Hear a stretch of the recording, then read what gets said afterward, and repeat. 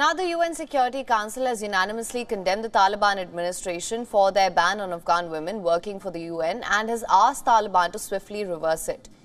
The resolution it was drafted by the UAE and Japan and was unanimously passed. The UNSC highlighted how the ban undermines human rights and humanitarian principles and highlighted how the role of women in the Afghan society is indispensable.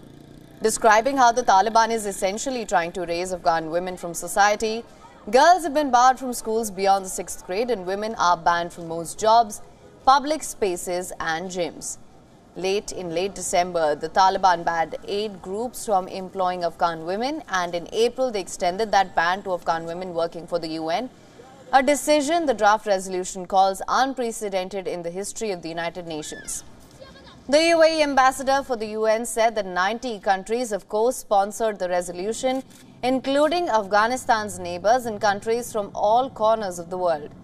The US ambassador to the UN also chimed in as to how Taliban is causing irreparable damage to Afghanistan. This vote comes before a scheduled meeting in Doha in the beginning of May where the UN Secretary General Antonio Guterres is set to convene with various special envoys about the situation in Afghanistan. WION is now available in your country. Download the app now. Get all the news on the move.